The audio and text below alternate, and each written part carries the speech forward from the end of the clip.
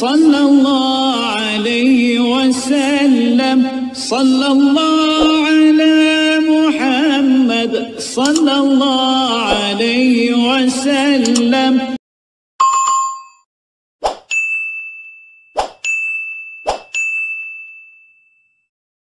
بسم الله الرحمن الرحيم. Bulan puasa memang salah satu bulan yang paling ditunggu oleh masyarakat muslim di seluruh dunia. Banyak hal istimewa dan tradisi yang hadir di bulan suci ini. Salah satunya tradisi berkeliling sekitar lingkungan rumah, membangunkan warga untuk melaksanakan sahur dengan membawa alat musik tradisional seperti beduk atau kentungan. Ternyata nggak cuma di Indonesia aja loh yang mempunyai keseruan tradisi membangunkan sahur dengan beduk atau kentungan. Di luar negeri seperti Turki juga ada. Tradisi membangunkan sahur di negeri ini namanya Ramadan Drum. Cara mereka menabuh beduk hampir sama dengan di Indonesia. Selain tradisi menabuh drum, Ramadan di Turki sangatlah hidup, apalagi saat sahur tiba. Karena tradisi masyarakat di sana ialah makan sahur dan berbuka puasa bersama-sama keluarga, baik di rumah maupun di taman-taman kota seperti Taman Sultan Ahmed.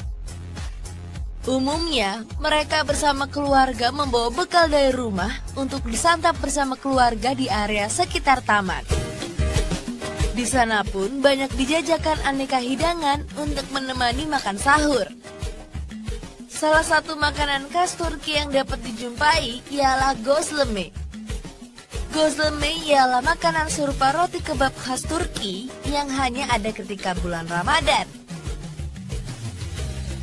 Selain suasana sahur yang ramai, suasana Ramadan di pusat Istanbul pada siang hari pun tetaplah ramai dan sibuk.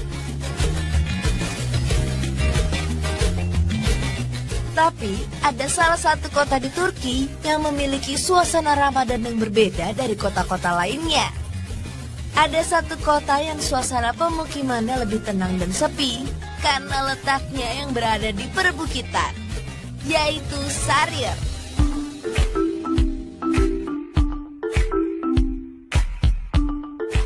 Distrik yang berada di pesisir Selat Bosporus, dekat dengan Laut Mati. Warga Sarier yang berjumlah sekitar 330 ribu jiwa ini, 98 persennya adalah muslim sahabat. Dan sesuai geografisnya, maka kegiatan mereka terpusat di pesisir pantai.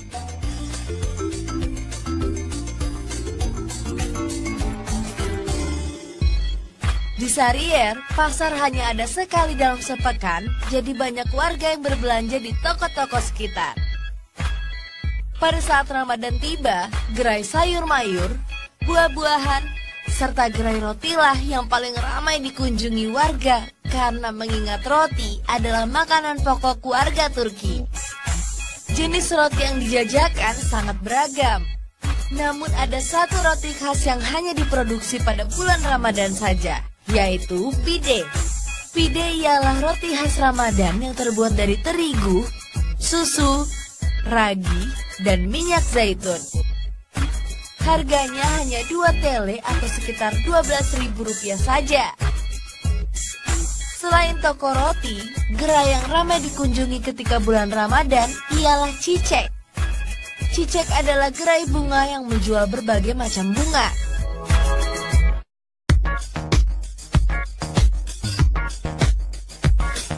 Sahabat Salia mau tahu, pada saat Ramadan, tradisi ngabuburit di sini, warganya kerap mengisi waktu menunggu berbuka puasa dengan mengunjungi pesisir Bosporus untuk sekedar berkreasi di taman kota bersama keluarga atau melakukan aktivitas memancing karena memancing ialah hobi yang paling populer di Istanbul.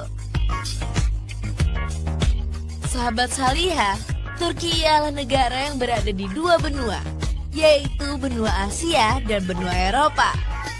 Lamanya waktu berpuasa di negara ini ialah 15-18 jam.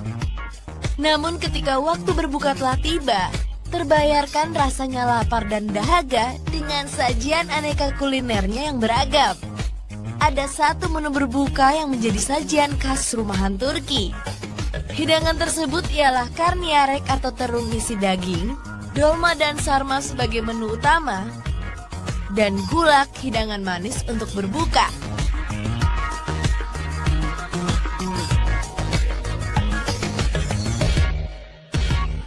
Dolma dan sarma yang terbuat dari bahan yang sama yakni campuran nasi, daging sapi giling, bawang bombay cincang, tomat, irisan daun peterseli, merica, dan garam dengan penyalut daun selada dan anggur.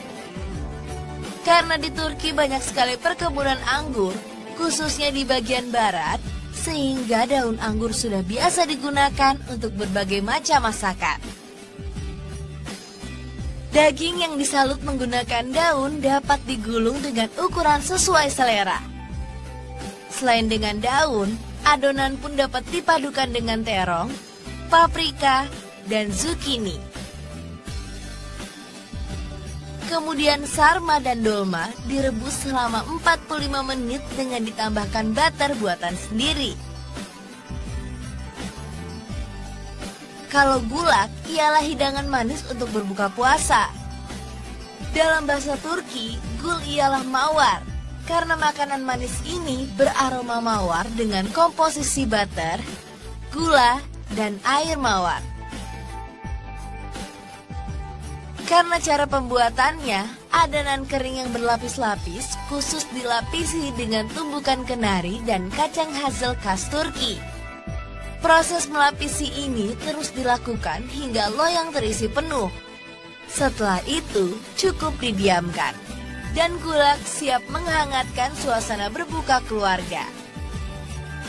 Tidak hanya ada itu sahabat Saliha, ternyata masih ada loh sajian khas Turki lainnya yang biasa disantap, yakni nasi kismis khas Turki dan pastirma.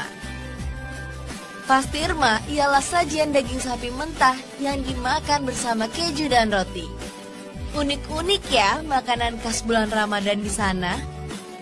Buat sahabat Saliha yang sedang berada di Turki atau berencana berlibur di sana, bisa mencoba suasana Ramadan di negeri ini.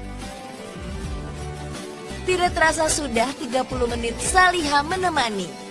Waktunya pamit. Dan jangan lupa saksikan Saliha Sabtu depan ya. Selamat berpuasa.